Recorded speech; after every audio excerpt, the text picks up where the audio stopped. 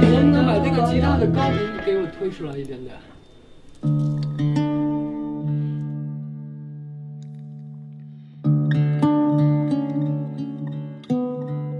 谢谢昌楚老师谢谢你。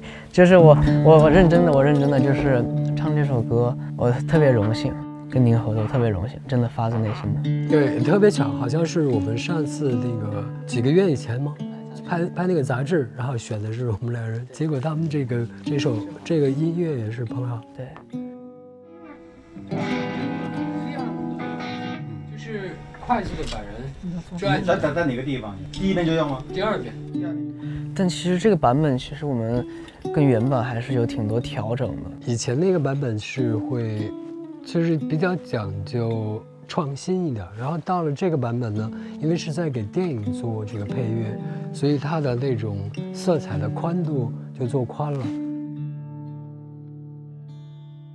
首先我是先看了这个电影啊，然后我也跟那个编剧聊了，他他好像也是在反映他自己的生活的一个面，呃，希望用这个歌来去再放在一个这个电影这个综合的艺术里头，也请您来为这个电影去注入一些音乐艺术上的一个诠释。我那个时代写的那个姐姐也是从生活的原点向这个世界去走，然后她会碰碰到这个原点上，比如说就像家人的不理解或者现实的一些。嗯，所作所为的无法去那么快的去实现。我要准备研究生考试。你都好大岁数了还考试？我要去北京脱产学习。那你弟儿啷个整呢？所以我想知道，说您当时在二十多年前为什么要写一首这样的歌？对，就是这个姐姐，她是明确指了一个人吗？还是一个意象？我自己的生活是我有姐姐，我有两个姐姐，然后，呃，我是我们家唯一男孩，所以会觉得就是小伙伴就是姐姐，是这样来的。也有很多的那种有一些挫折成长的这么一个故事。但当时我们不是先看了电影嘛，然后我就觉得去试着理解那里面的感情。姐姐她其实有很多面，她很真实，很独立，甚至有时候看起来有点凶，但她也很细腻、柔软，有动情的一面。就是当外界给她不一样的东西的时候，就能够激发出不同的她。所以其实我在想，如果我有一个姐姐，应该也挺好的。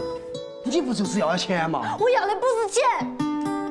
我爸爸死了，所有人都觉得他是我的责任，明明做错事情的不是我，凭啥子你们全都冲我来？这个事情到底要咋个算？我的人生不是只有你一个人啊，我只有你了。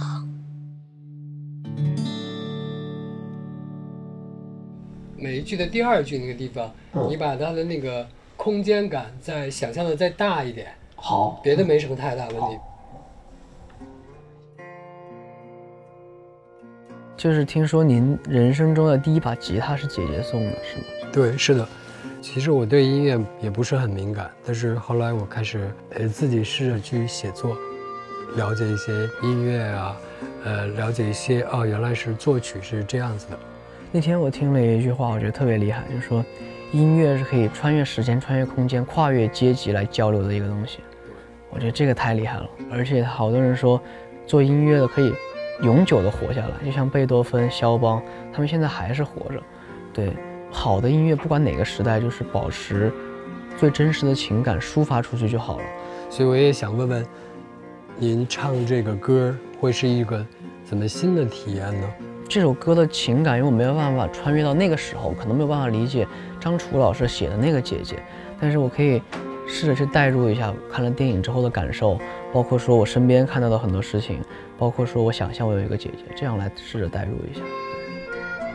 你跟妈妈一个味道。说谎是会长象鼻子的，你知道吗？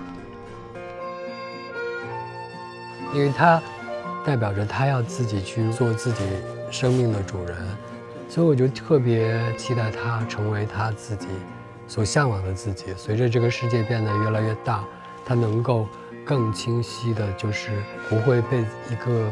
原始的东西所束缚，嗯，因为我没有姐姐，没有弟弟，我有一个表弟，所以说我看这电影还是比较客观的。我觉得电影非常非常好，我觉得就他的那个矛盾点啊制造的很好。就是我是姐姐是我是确实跟我有血缘关系的弟弟然后我还有自己的梦想要追寻我不能掉一个弟弟在这儿。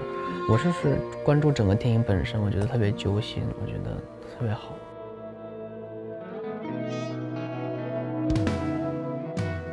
我特别喜欢这个故事除了写了姐姐也写了父母那个也写了自己的家庭的其他的成员。就是被击中了一样。